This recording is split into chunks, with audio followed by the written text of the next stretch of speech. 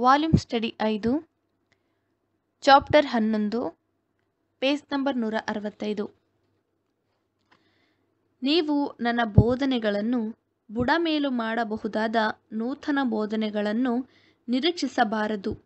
ಬದಲಾಗಿ ನನ್ನ ಬೋಧನೆಯ ನೆಲೆಯಲ್ಲಿ ಹೆಚ್ಚಿನ ಅಭಿವೃದ್ಧಿ ಮತ್ತು ಹೆಚ್ಚಿನ ಶಿಕ್ಷಣಗಳನ್ನು ಮಾತ್ರವೇ ನಿರೀಕ್ಷಿಸಬೇಕು. ಯಾಕೆಂದರೆ ಬರಲಿರುವ ಸಹಾಯಕನ ಎಲ್ಲ ಬೋಧನೆಗಳು ನನ್ನ ಬೋಧನೆಗಳೊಂದಿಗೆ ಸಾಮರಸ್ಯದಲ್ಲಿರುವುದು. ಮತ್ತು ಅವುಗಳು ಇನ್ನಷ್ಟು ಸಂಪೂರ್ಣವಾಗಿ ನಾನೇ ಮೆಸ್ಸಿಯನು ಎಂಬುದನ್ನು ತೋರಿಸಿಕೊಡುತ್ತವೆ. ನೀವು ಆ ಸಹಾಯಕನ ಬೋಧನೆಗಳಿಂದ ಸತ್ಯದ ಬಗ್ಗೆ ಅನುಮಾನಿಸುವಂತಿಲ್ಲ. ಯಾಕೆಂದರೆ ಇದುವೇ ಸತ್ಯದ ಆತ್ಮನಾಗಿದ್ದು ತಂದೆಯಿಂದ ಹೊರಡು ಬಂದಿದ್ದಾಗಿದೆ. ಈ ಸತ್ಯದ ಆತ್ಮನು ನನ್ನ ವರ್ತವಾಹಕನಾಗಿದ್ದಾನೆ ಮತ್ತು ನನ್ನ ಸಿದ್ಧಾಂತಗಳನ್ನು ನಮಗೆ ತಿಳಿಸುವವನಾಗಿದ್ದಾನೆ. ಹಾಗೂ ಮುಂದಾಗುವ ಸಂಗತಿಗಳನ್ನು ನಿಮಗೆ ತೋರಿಸಿಕೊಡುವವನಾಗಿದ್ದಾನೆ. ಯೋಹನ ಹದಿನಾರನೇ ಅಧ್ಯಾಯ ಹದಿಮೂರನೇ ವಚನ.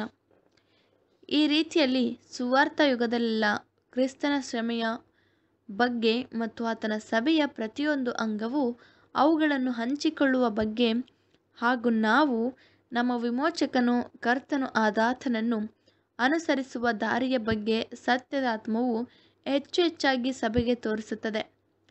ಆತನ ಪ್ರತಿಫಲವಾದ ಶ್ರಮೆಯ ಶ್ರೇಷ್ಠತೆಯನ್ನು ಮತ್ತು ದೇವರಿಗೆ ಬಾಧ್ಯರು, ಕ್ರಿಸ್ತನೊಂದಿಗೆ ಬಾಧ್ಯರು. ಹೇಗೆಂದರೆ ಕ್ರಿಸ್ತನೊಂದಿಗೆ ಸಂಭವಿಸಿದ ಬಾಧೆಗಳಲ್ಲಿ ನಾವು ಪಾಲುಗಾರರಾಗುವುದಾದರೆ ಆತನ ಮಹಿಮೆಯಲ್ಲಿಯೂ ಪಾಲುಗಾರರಾಗುವರು. ನಮಗೆ ಆಗುವ ನಮ್ಮ ಭಾಗ್ಯದ ಬಗ್ಗೆಯೂ ಸಹ ಇದು ತೋರಿಸಿಕೊಡುತ್ತದೆ. ಎಲ್ಲರ ತಂದೆಯಾದ ಯೆಹೋವನು ಈ ಎಲ್ಲ ಸತ್ಯಗಳ ಕರ್ತವಾಗಿದ್ದಾನೆ ಆದುದರಿಂದ ನಾವು ಈ ಸುವಾರ್ಥ ಯುಗದ ಕಾಲದಲ್ಲೆಲ್ಲ ಪಡೆಯುವ ಎಲ್ಲ ಸಂಗತಿಗಳು ಆತನಿಂದ ಹೊರಡುತ್ತವೆ. ಮತ್ತು ಆತನಿಂದಲೇ ಪ್ರತಿಯೊಂದು ಒಳ್ಳೆಯ ದಾನಗಳು ಹಾಗೂ ಎಲ್ಲ ಒಳ್ಳೆಯ ವರಗಳು ಬರುತ್ತವೆ. ಆತನು ಇವುಗಳನ್ನು ಉಂಟು ಮಾಡಿದ ಅನಾದಿ ಕಾಲದಿಂದಲೇ ಪ್ರವಾದಿಗಳ ಮತ್ತು ಕ್ರಿಸ್ತನ ಮತ್ತು ಆತನ ಅಪೋಸ್ತಲರ ಸ್ಫೂರ್ತಿದಾಯಕ ಮಾತುಗಳ ಬರಹಗಳ ಆದರ್ಶಭೂತ ಬೋಧನೆಗಳೆಂಬ ವಾಹಿನಿಗಳ ಮೂಲಕ ಇದನ್ನು ಕಳಿಸುತ್ತಾ ಇರುತ್ತಾನೆ. ಪವಿತ್ರಾತ್ಮನನ್ನು ನಮ್ಮ ಹೃದಯಗಳಲ್ಲಿ ಅಂಗೀಕರಿಸುವುದರ ಮೂಲಕವಾಗಿ ಮತ್ತು ದೇವರ ಮಾತು ಮತ್ತು ಯೋಜನೆಗಳೊಂದಿಗೆ ನಮ್ಮ ನಡತೆಯನ್ನು ಸಾಮರಸ್ಯದಲ್ಲಿರುವುದರ ಮೂಲಕ ದೇವರು ತಾನು ಪ್ರೀತಿಸುವವರಿಗಾಗಿ ಕಾದಿರಿಸಿದ ಸಂಗತಿಗಳನ್ನು ನಾವು ಮೆಚ್ಚಿಕೊಳ್ಳುವವರಾಗುತ್ತೇವೆ ಮತ್ತು ಕೇವಲ ನೋಡುವುದರಿಂದ ಮಾತ್ರವಲ್ಲ ನಂಬಿಕೆಯಿಂದಲೂ ನಡೆಯುವವರಾಗುತ್ತೇವೆ.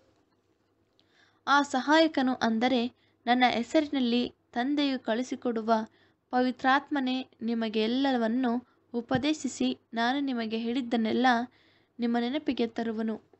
ಯೋಹನ ಹದಿನಾಲ್ಕನೇ ಅಧ್ಯಾಯ ಇಪ್ಪತ್ತಾರನೇ ವಚನ. ನಾವೀಗಾಗಲೇ ತಪ್ಪು ಹಾದಿಗೆ ಎಳೆಯಬಹುದಾದ ಗಾಸ್ಟ್ ಎಂಬ ಪದದ ಬಗ್ಗೆ ಎಂಟನೇ ಅಧ್ಯಾಯದಲ್ಲಿ ಪರೀಕ್ಷಿಸಿದ್ದೇವೆ. ಆದರೆ ನಾವೀಗ ಪವಿತ್ರಾತ್ಮನು ತಂದೆಯಿಂದ ಕಳಿಸಲ್ಪಡುತ್ತಾನೆ ಎಂಬ ಹೇಳಿಕೆಯನ್ನು ಪರೀಕ್ಷಿಸುವರಾಗಿದ್ದೇವೆ ಯಾಕೆಂದರೆ ಇದು ಪವಿತ್ರಾತ್ಮನು ತಂದೆಯ ನಿರಂತರದಲ್ಲಿರುವ ಒಂದು ಪ್ರಭಾವ ಅಥವಾ ಶಕ್ತಿ, ಮಾನವ ಕಲ್ಪಿತ ವಿಶ್ವಾಸ ಹರಕೆಯಲ್ಲಿ ತಪ್ಪಾಗಿ ಪ್ರತಿಪಾದಿಸುವಂತೆ ಆತನು ದೇವರಿಗೆ ಸಮಾನವಾದ ಶಕ್ತಿ ಮತ್ತು ಮಹಿಮೆಯನ್ನು ಹೊಂದಿರುವ ಮತ್ತೊಂದು ವ್ಯಕ್ತಿ ಎಂಬ ಅರ್ಥ ನೀಡುತ್ತದೆ. ನಮ್ಮ ಶಕ್ತಿಗಳೆಲ್ಲವೂ ನಮ್ಮ ಹಿಡಿತದಲ್ಲಿರುವಂತೆ ದೇವರ ಎಲ್ಲ ಶಕ್ತಿಗಳು ಸಂಪೂರ್ಣವಾಗಿ ಆತನ ಹಿಡಿತದಲ್ಲಿರುತ್ತವೆ. ಆದ್ದರಿಂದ ದೇವರು ತನ್ನ ಆತ್ಮನನ್ನು ಕಳಿಸುತ್ತಾನೆ ಎಂಬ ಕಂಠೋಕ್ತಿಯು ಅಥವಾ ಪ್ರವಾದಿಯು ವಿವರಿಸುವಂತೆ ನಾನು ನನ್ನ ಆತ್ಮನನ್ನು ನಿನ್ನಲ್ಲಿ ಇರಿಸುತ್ತೇನೆ ಎಂಬ ಹೇಳಿಕೆಗಳು ಅದರಂತೆಯೇ ಅವೆ.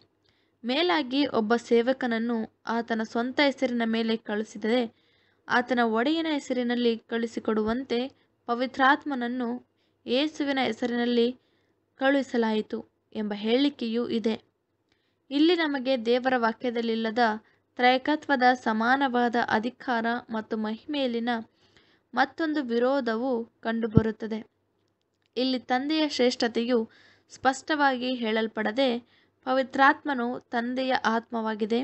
ಶಕ್ತಿಯಾಗಿದೆ, ಪ್ರಭಾವವಾಗಿದೆ ಮತ್ತು ತಂದೆಯ ಚಿತ್ತದಂತೆ ಮತ್ತು ನಮ್ಮ ವಿಮೋಚಕನ ಯೇಸುವಿನ ಹೆಸರಿನಲ್ಲಿ ಕಳುಹಿಸಲ್ಪಟ್ಟಿದೆ. ಯೇಸುವಿನ ಹೆಸರಿನಲ್ಲಿ ಯಾಕೆ? ಯಾಕೆಂದರೆ ವಿಮೋಚಕನೆಯ ಮತ್ತು ಪಾಪಿಸ್ಟರ ಪುನಃಸ್ಥಾಪನೆಯ ಸಮಗ್ರ ಕಾರ್ಯವು ಪಾಪನಿವೃತ್ತಿಯ ಸಮಸ್ತ ಕಾರ್ಯವು ಮಗನಿಗೆ ಒಪ್ಪಿಸಲ್ಪಟ್ಟಿದೆ. ಮತ್ತು ತಂದೆಯ ಆತ್ಮನು ಒಂದು ವಾಹಿನಿಯಂತಿದ್ದು ಇದರ ಮೂಲಕವಾಗಿ ಮಗನು ತನ್ನ ಅಮೂಲ್ಯ ರಕ್ತದಿಂದ ಕಂಡುಕೊಂಡ ಆಶೀರ್ವಾದಗಳನ್ನು ಅನುಗ್ರಹಿಸುವ ಕಾರ್ಯಾಚರಣೆಯನ್ನು ನಡೆಸುತ್ತಾನೆ. ದೇವರ ವಾಕ್ಯವನ್ನು ಆಶೀರ್ವದಿಸಲಿ. ಆಮೇಲೆ